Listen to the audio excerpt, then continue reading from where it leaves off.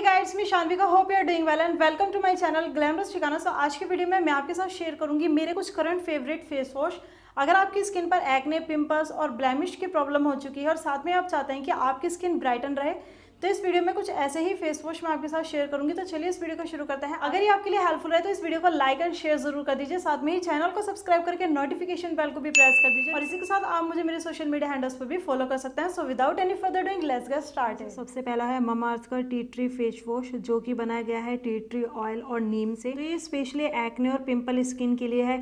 Even अगर आपकी skin पर एक्ने और पिंपल्स जैसी प्रॉब्लम नहीं भी है तो भी आप इसको यूज़ कर सकते हैं। क्योंकि जब कभी भी बहुत ज़्यादा आपकी स्किन संपर्क में आती है पोल्यूशन के डर्ट के डस्ट के तो एक्ने जैसी प्रॉब्लम बन जाती है। ऐसे में आप टी ट्री के फेस वॉश को यूज़ कर सकते हैं। इसके काफ़ी सारे बेनिफिट्स होते हैं। ये आपके फेस के एक्स्ट्रा ऑयल को भी रिमूव करता है।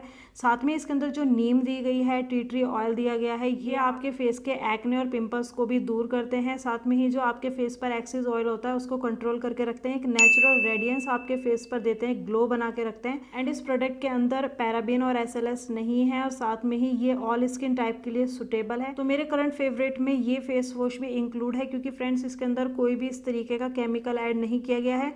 नेक्स्ट मेरे करंट फेवरेट फेस वॉश में आता है वाओ का वाइटामिन सी फेस वॉश ये तो बहुत ही अच्छा है फ्रेंड्स ये आपकी स्किन को लाइटन एंड ब्राइटन करता है। आपकी स्किन को एंड डेफिनेटली ये करता है।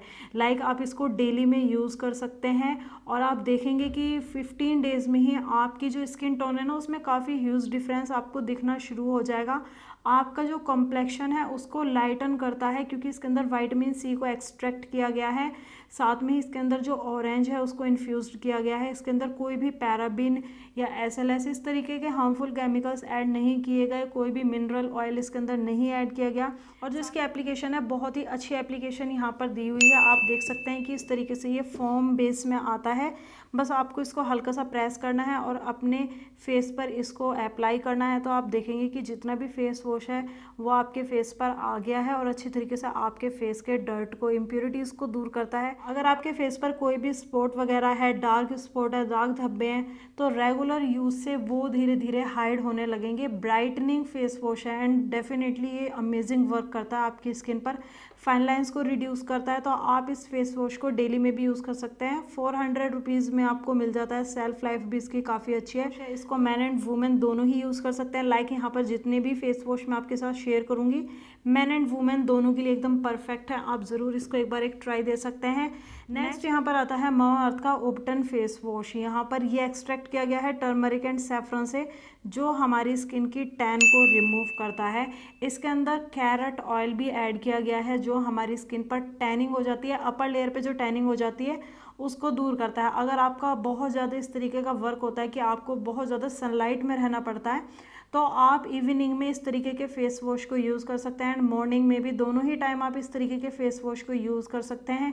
ये काफ़ी अच्छा ऑप्शन हो जाता है, जो आपकी स्किन डैमेज हो जाती है सन से उसको रिपेयर करता है और स्किन को लाइटन करता है। उपटन फेस वॉश है, इसके अंदर सेफ्रन एंड टर्मरिक भी ऐड की गई है। अगेन अगर हम इसके इंग्रेडिएंट में चेक करते हैं तो इसके अंदर कैरेट ऑयल भी ऐड किया गया है, जो हमारी स्किन की टैनिंग वाली प्रॉब्लम को दूर करता है। लिक्राइस एक्सट्रैक्ट भी इसके अंदर ऐड किया गया है, जो हमारी स्किन को रिपेयर करता है। सन डैमेज से जो हमारी स्किन के जो सेल्स डेड हो जाते हैं, उनको रिपेयर करता है, उनको एक्सफोलिएट करता है। बस थोड़ा सा ड्रॉबैक इसका ये है कि अगर आपकी स्किन सेंसिटिव है तो आपको बहुत ही कम अमाउंट इसका यूज़ करना है। मे बी थोड़ी सी रेडनेस वाली प्रॉब्लम आपके फेस पर हो सकती है। अदरवाइज़ ये बहुत ही अच्छा फेस वॉश है फ्रेंड्स अगर आपकी स्किन पर बहुत ज़्यादा डस्ट और डर्ट दिख रही है ऑयल बहुत ज़्यादा दिख रहा है तो एक बार आप इसको यूज़ कर लीजिए। आपके जो फेस का ऑयल है वो पता भी नहीं चलेगा कहाँ चला गया। बहुत अच्छा फेस वॉश है, आप ज़रूर इसको एक बार ट्राई दे सकते हैं। लास्ट यहाँ पर आता है बॉडी शॉप का टी ट्री फेस वॉश ये जो फेस वॉश है ये स्पेशली उनके लिए जिनकी स्किन ब्लैमिश्ड हो गई है बहुत अच्छा फेस वॉश है। अगर आपके झाइयों जैसी प्रॉब्लम है ना तो टी ट्री एक्सट्रैक्ट जिस भी स्किन केयर प्रोडक्ट में अवेलेबल है आपको वो यूज़ करना चाहिए। आपकी जो ब्लैमिस्ड स्किन होती है ना उसको वो उसको रिड्यूस करता है और यहाँ पर आप देख सकते हैं कि अगर आपकी स्किन नॉर्मल है तो भी आप इसको यूज़ कर सकते हैं। ये ऑलमोस्ट कंप्लीट हो गया है इसके अंदर ज़रा सा भी फेस वॉश नहीं बचता है। ये मैं पूरा यूज़ कर चुकी हूँ। ये आपकी स्किन को क्लियर भी करके रखता है। आपकी स्किन पर जो ब्लैमिश वाली प्रॉब्लम हो गई है झाइयों वाली जो प्रॉब्लम हो गई है उसके लिए बहुत ही बेस्ट यहाँ पर ये फेस वॉश है।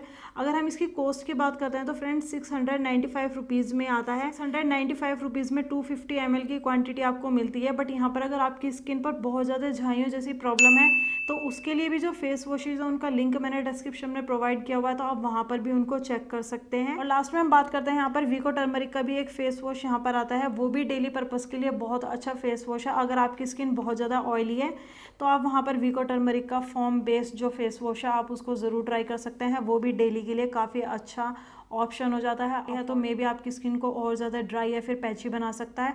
अदरवाइज़ अगर आपकी स्किन ऑयली है तो बहुत अच्छी तरीके से आपके फेस के ऑयल को रिमूव करके आपकी स्किन को एकदम फ्रेश बनाता है। अगर आपको अपनी स्किन पर बहुत ज़्यादा ग्लो चाहिए, आपकी स्किन को ब्राइटनिंग चाहिए तो डेफिनेटली आप वाओ का वाइटामिन सी यूज़ कर सकते हैं। अगेन अगर आपकी स्किन पर एक्ने या पिंपल्स जैसी प्रॉब्लम है तो डेफिनेटली आप ममा अर्थ का tea tree face wash try कर सकते हैं। अगेन अगर आपके फेस पर टैन रिमूवल वाली प्रॉब्लम है तो आप ममा अर्थ का उपटन फेस वॉश यूज़ कर सकते हैं। डेफिनेटली बहुत अच्छा वर्क करता है।